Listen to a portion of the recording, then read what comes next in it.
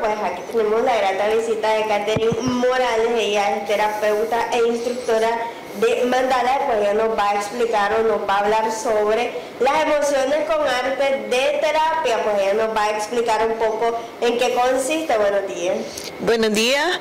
Eh, bueno, el arte terapia es bastante ahora conocida. Eh, es un método donde nosotros nos podemos comunicar, conectar con nuestro subconsciente, con las emociones que tenemos ahí bloqueadas de, por autodefensa, de que tenemos tal vez desde niño, porque son emociones que no podemos gestionar, que no las conocemos.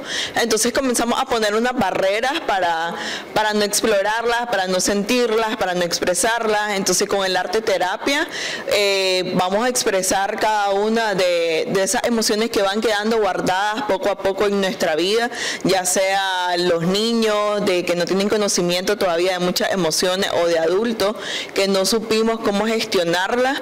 Eh, entonces con el arte terapia que son los mandalas, vas a expresarlo porque te va a, conectar con tu, con tu yo interno, con tu niñez, también puedes ir sanando traumas de, la niñez. Eh, ahorita que estamos en el mes de, la niñez, conectarte con tu niño interior, sanar esas heridas que nosotros tenemos, eh, también descubrir qué es lo que nos está afectando el día a día para estar contento, para cumplir con nuestras eh, labores, con nuestra familia, con nuestro entorno.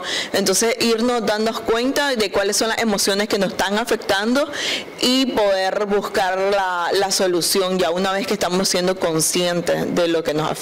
Ahora, este, esta implementación de este arte es un poco nueva, por decirlo así, o ya tiene años, digamos, que algunas personas pues eh, lo utilizan, expresan sus emociones a través de este arte.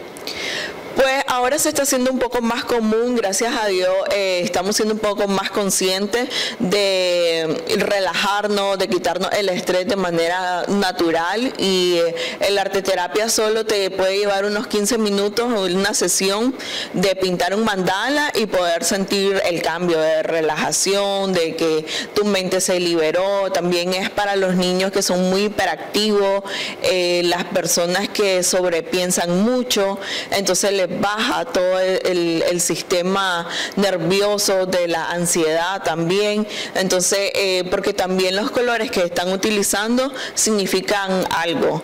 Eh, digamos que mm, el morado, si lo utilizan mucho, es de las personas que son algo romántica, también egocéntrica, autoritaria.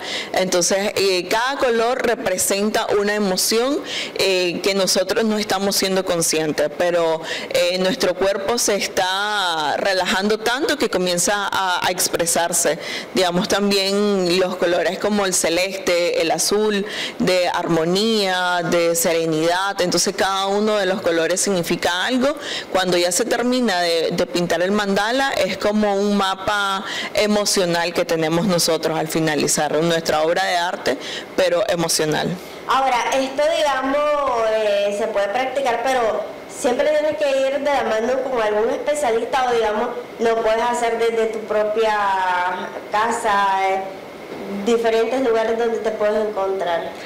Lo puedes hacer en cualquier momento. En las librerías están vendiendo los libros de mandala, puedes imprimir cualquier dibujo que sea de mandala eh, y tener un tiempito de unos 15, 20 minutos para relajarte, pintarlo, no importa dónde estés. Si estás en la oficina y estás pasando por una crisis de estrés, de ansiedad, directamente ir a, pintar te va a ayudar bastante, te va a relajar. Eh, también a los niños, ponerlo en las tardes a que coloreen, porque es una conexión que nosotros estamos teniendo con nuestro subconsciente. Los niños también se están expresando de esa manera, se van a relajar, se pueden concentrar, digamos, antes de comenzar a hacer las tareas, de que comiencen a pintar, ellos ya se están concentrando y ya le bajan el nivel a, sus pensamientos, a tener como una, un límite de lo que pasó en la escuela o de lo que está pasando en la casa, concentrarse y hacer las tareas. Ahora, digamos, puede darse el caso de que la persona o el niño lo colore haga todo el procedimiento, pero ah, digamos, después de haber hecho su, todo, todo el procedimiento se da cuenta de lo que realmente sentía o de esas emociones? Sí, eh, yo con mi experiencia de los niños cuando están pintando con mandala, como son, unos seres que están como bastante sensibles a lo que les pasa, entonces se lo pueden expresar de que tal vez antes de pintar el mandala estaban enojados o pintando el mandala te dicen estoy sintiendo como un enojo que no sé cómo se expresa, eh, una frustración y entonces es nosotros ya como adultos darle un significado a lo que ellos están sintiendo ayudarla a canalizar ese proceso y este, ya después de pintar el mandala sienten un alivio, sienten de que se quitaron un peso y solo colorearon. Esto, digamos, eh, estos procedimientos se deberían de aplicar diario. ¿Cuánto es lo más adecuado, digamos? Y en el caso de los niños, ¿a partir de qué edad ya se puede comenzar a implementar? Los niños desde antes de ir al, kinder, al preescolar, de que ellos ya pueden estar coloreando y como también no son tan verbales, entonces uno como adulto puede saber qué es lo que está pasando, qué tan alegre está ese niño. Eh, también puede ser diario, como te dije, antes de hacer sus tareas a los niños para que se concentren. Los adultos de pintar en el trabajo, de que podemos hacerlo ya que, que se normalice el estar pintando porque volver a, la, raíz, a tu niñez, a esos momentos de felicidad, de que estás jugando, de que estás pintando, sin ninguna eh, la presión de que tenés que pintar de esta manera, porque cuando a pintar mandala no vas a, a decir desde ya en tu pensamiento, desde comenzar, de que ya voy a ocupar esto y estos colores, no, sino que todo vaya fluyendo porque son las emociones expresándose a través del arte terapia.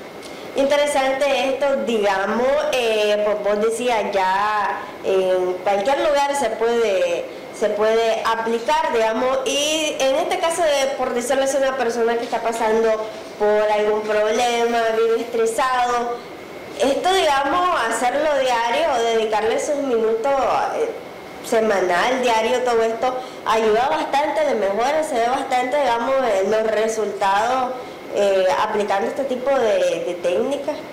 Sí, porque es como, es una terapia, entonces por más que lo vaya haciendo, va a ir teniendo su efecto a largo plazo, de ya va a ser parte de tu rutina del día a día y también ya va a ser un poco más sensible, bajan los niveles de ansiedad, de estrés, porque ya tienes una manera, un escape como de canalizar todo lo que te está pasando, calmar tu mente, tu pensamiento, eh, también puedes comenzar a desarrollar la comprensión empatía, porque estás comenzando a tener un equilibrio emocional.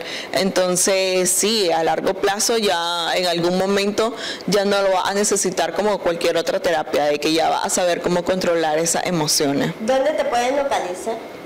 Eh, estoy en redes sociales como Perfect Emotion. En Instagram soy Perfect Emotion Nick y en Facebook Perfect Emotion. Bueno, muchísimas gracias por esta alternativa que vos estás dando para sobre todo aquellas personas que viven eh, con problemas de estrés o algún otro tipo de problemas. Nosotras así pues damos por finalizada la revista Buenos Días Nicaragua.